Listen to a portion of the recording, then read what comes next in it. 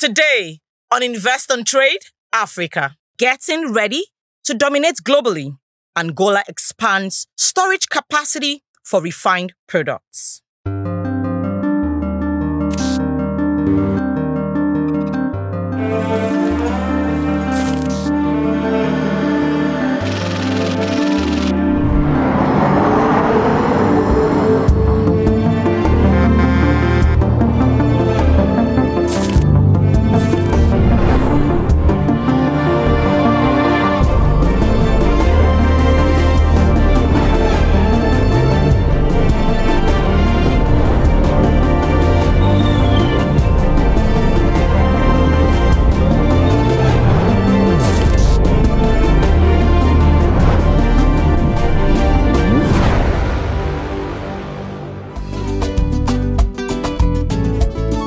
It is no longer a secret that Angola's downstream segment is poised for rapid expansion, fueled by new refineries being built and developed.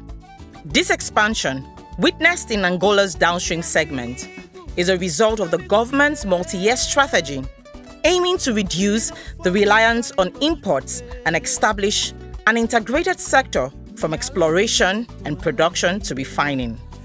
The country has already expanded its Luanda refinery while building three new refining facilities with the private sector at Cabinda, Soyo, and Lobito. A combined 200,000 liters per day capacity is the expected output. So, what happens when you have so much refined products? You're going to need somewhere to store it all. I'm here at Bengo to see firsthand the Terminal Oceânico de Barra do Dande being built to fill the gap.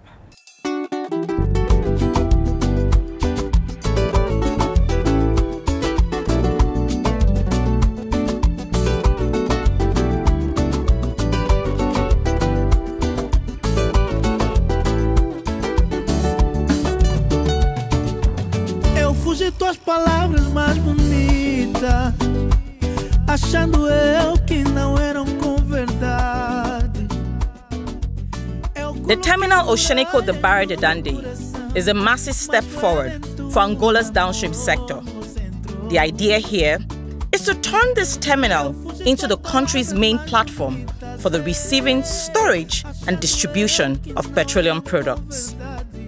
The terminal is being developed in phases and at a cost of $500 million ultimately, targeting the construction and installation of 29 storage tanks connected to maritime infrastructure such as breakwater, berths, and unloading lines.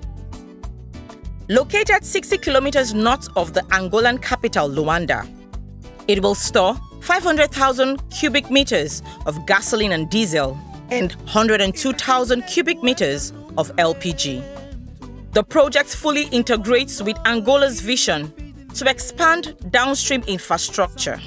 And once commissioned, this facility will be storing the surplus petroleum products that can be exported by pipeline or ship to regional and global markets. Upon completion of the refineries and storage facility, Angola will have multiplied its refining capacity by up to nine times and will be one of sub Saharan Africa's biggest refining hubs. What is the installed capacity for this project? The total installed capacity of the project is something like 580,000 uh, cubic meter of uh, three products. We have uh, gasoline, we have gas oil, which is diesel, and we have LPG, which is gas. For the gasoline, um, we have a total capacity of 160,000 um, cubic meter um, distributed in eight tanks. For the diesel, we have uh, a total capacity of 320 meters distributed in eight tanks as well. And we have, for the LPG, we have 102 uh, cubic meter distributed in 34 um, bullets. Okay. And how soon are we going to have this project ready? Uh, we aim and we are doing everything to get it done before the first quarter 2024 and we will do it As Angola ramps up its refining capacity, there are concerns that transitioning to renewables is not really on the front burner and cleaner energy sources on a large scale may yet be in the distant future.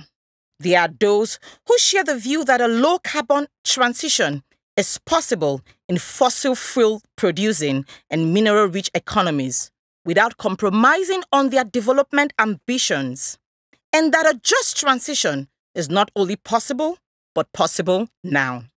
While I was with the Minister of Mineral Resources, Petroleum and Gas, I asked him what exactly are Angolans' plans for a just transition.